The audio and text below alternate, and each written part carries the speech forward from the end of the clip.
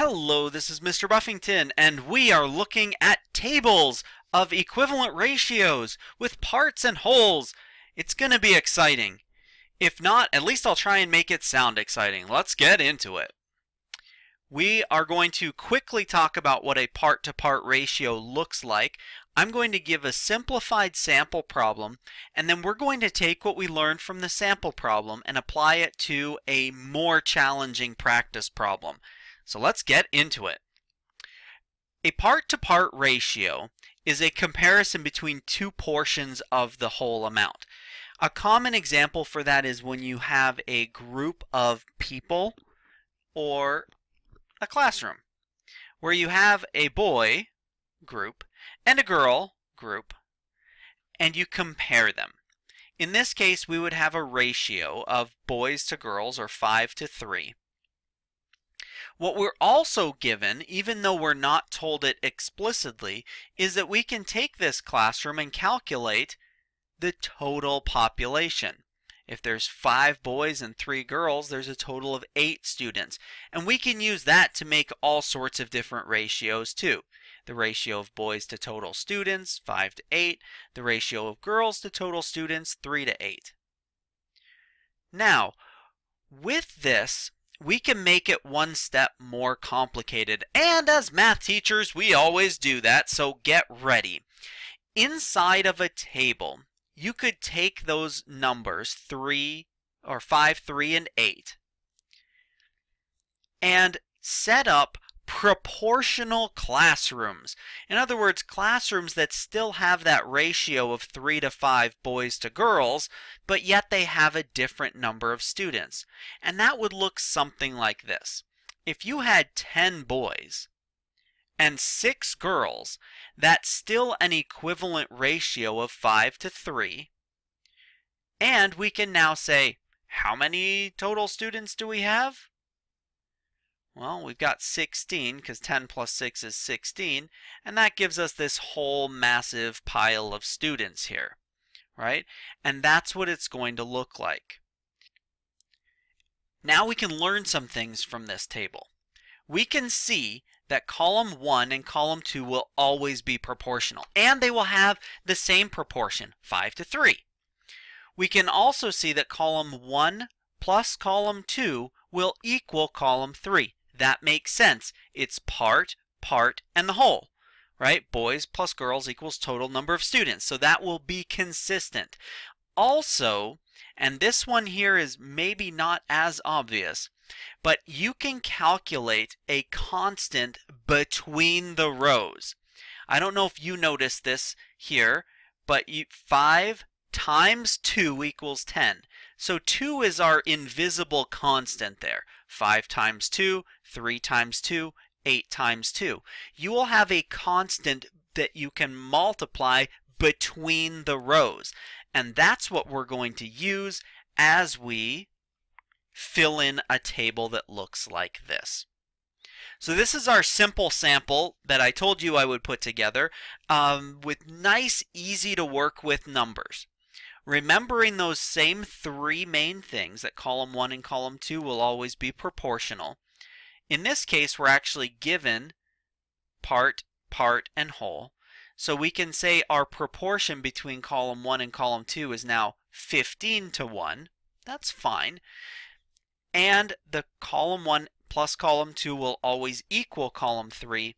And if we calculate a constant between the rows, then we can use that to multiply. So let's fill in this entire table. You might have been able to do that already without even thinking about it. It's a pretty simple table. But we I want to show you a couple of principles that you will need when we make the numbers a little bit harder. First off, this is our table. What I would do is find the constant. What are we multiplying times between the row number 1 and row number 2. 1 times something equals 2. We find that by dividing, 2 divided by 1 will give us 2. So our constant is 2. We're going to multiply the things in the numbers in row 1 times 2 and fill in our second row. 15 times 2, 30. 16 times 2, 32. Now, I filled in 32 without showing 16 times 2. Is there another way you could have figured that out? Yeah, absolutely. You can add 30 plus 2 to get 32. Part plus the part equals the whole. So when we have missing detail or missing numbers like that, we can find them sometimes in multiple ways. Let's try out the, the missing pieces here at the end. We've got two blank spaces. How would you figure those ones out? Here's one method that you might have used. If I look here between 16 and 48, I can say 16 times something gives me 48. That gives me a nice even number of 3. 16 times 3 gives me 48. That is my constant from the top row all the way down to the third row, which means I can now multiply 15 times 3 to get this number. And what would I do to fill in that other missing number? You could have said 48 minus 45 gives me 3, or you could have said 1 times 3 gives me that. Both would have been perfectly fine. Both would have been accurate and correct. You could also check the proportions of each of the rows. You can check that this is a 15 to 1 ratio, that this one, when simplified, would also be a 15 to 1 ratio, and 45 to 3 is also a 15 to 1 ratio. In other words, these are all proportional ratios or equivalent ratios. Now, we are going to move into a question that is absolutely ridiculous. I want to warn you before we move into there we're going to be looking at a table that is much more difficult to read than this one. It's more difficult to fill in, and I did that for a reason. We are going to follow all of the same steps that we did filling out this table when we go on to our next one. Here it is. I know it's fractions, and that makes me a terrible human being. I understand that. But I've already consigned myself to that, so it's, it's cool. But I want to show you this as a table that has fractions in it so that you can see all of the same rules apply, only now we're doing operations with fractions.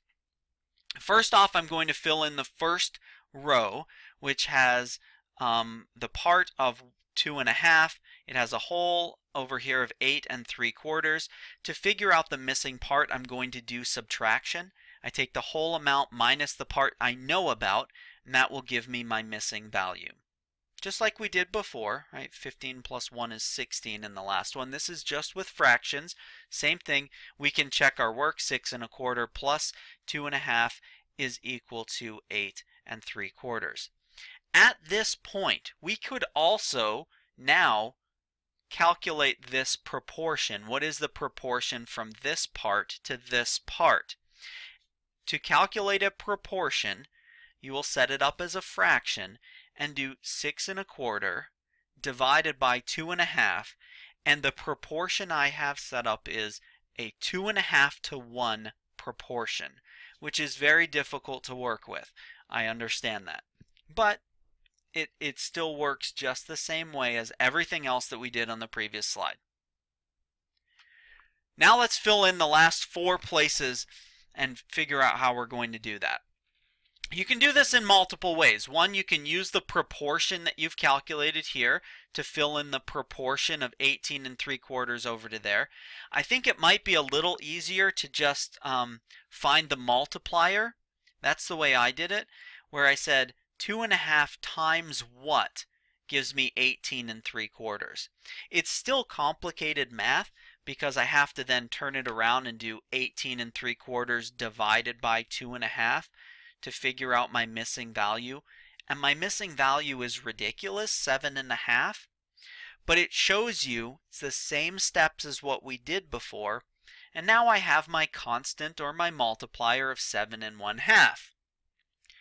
I'm going to use that seven and a half to fill in the two missing spaces in my second row. I'll multiply six and a quarter times seven and a half to give me 46 and 7 eighths. I'll multiply 8 and 3 quarters times 7 and a half to give me 65 and 5 eighths. I can again check my work, which is kind of exciting because it's better than English class where you can't check your own work you can go ahead and add 46 and 7 eighths plus 18 and 3 quarters and see if they add up. You can also check to see if 46 and 7 eighths and 18 and 3 quarters are proportional of 2.5 to 1. Again, a little bit challenging there, but but the same basic principles from our uh, from our first graph or table, I should say. In the end, now what I'm going to do is take a look at these values. What you will do to solve it is the same exact step. You would have 8 and 3 quarters, come down to here, and find out the multiplier. What are you multiplying times 8 and 3 quarters to get 17 and a half? Then use that same multiplier here and here, or you can use um, the equivalent ratio. But now's the time for you to go ahead and solve it. What I'd like you to do is try and fill in the last two blanks in this table. I'm going to give you a little bit of time. Pause the video for a minute. I'll give you a minute. Okay, did you pause it? Did you try it out? No? I had someone tell me in the comments that they didn't, and that was just rude. Let's try it out um, what you end up with is these two numbers. That's what you should have. The ratio, uh, or the multiplier, I guess the constant, from the first row to the final row is 2. We're multiplying it times 2, which is nice. Um, but we can also see that there is a 2.5 to 1 ratio between the um, first column and second column, and that they do add up to give us 17 and a half. Some things to take away. One, think simple. Make a simple sample so that you can see exactly what you're doing. I, I encourage you to do that and know that the patterns you do with the easier work will continue on to the patterns that you will or to the work that you do in the second one. Second, that the rules are the same for simple and complex.